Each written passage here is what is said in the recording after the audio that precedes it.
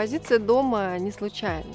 Мы хотели создать некую приватную зону между двумя объемами, которые расположены сверху на нижнем объеме. Таким образом у нас там образовалась терраса, которую мы закрыли такими деревянными перголами.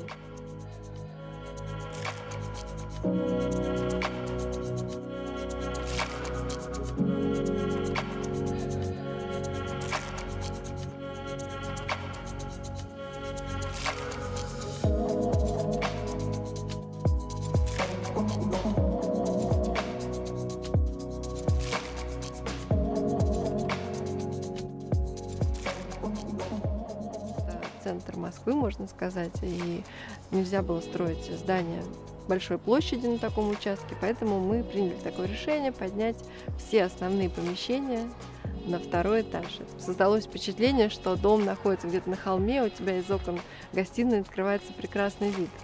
Три объема отделаны тремя разными материалами, разделены по трем функциям.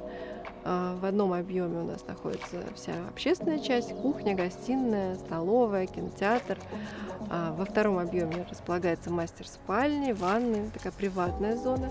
И на нижнем этаже у нас э, есть входная зона, бассейн, гараж, собаки, персонал.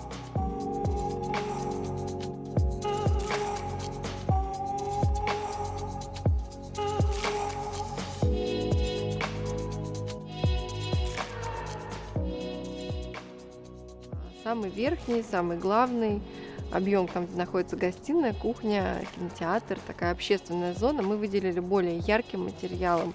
Это натуральная медь, которая будет э, изменять свой цвет. Через 20 лет, возможно, она станет зеленой. Она будет э, жить и стареть вместе с домом. Таким образом немножко меняя его облик. А второй объем это мастер спальни. Мы сделали нейтральными. Это керамическая плитка под э, такое состаренное серое дерево.